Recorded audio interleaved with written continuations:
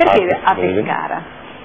Ma semplicemente mh, diciamo perché i più di noi erano pescaresi originari. Adesso chiaramente il nucleo dei collaboratori si è esteso a tutta l'Italia e lavoriamo con diverse riviste internet che si occupano d'arte come Neural.it, famosissima rivista storica, lavoriamo con Digicalt che è una rivista recente sempre che si occupa di arti elettroniche, abbiamo collaboratori a Venezia, abbiamo collaboratori come è di Roma molto eh, diciamo, attiva da sempre, eh, abbiamo, insomma... in qualche modo multimediale essere appunto sì, in rete, sì. no? quindi non importa praticamente dove accadono gli eventi, non importa più dove si è, cioè non c'è più un centro, no, ci possono no. essere tanti centri che possono essere messi in qualche, rete, in qualche, modo in rete, quindi una condivisione di esperienze. Poi sotto il punto di vista funzionale se posso aggiungere, sì. e bisogna dire che è vero che le piccole province, le province uh mhm. -huh.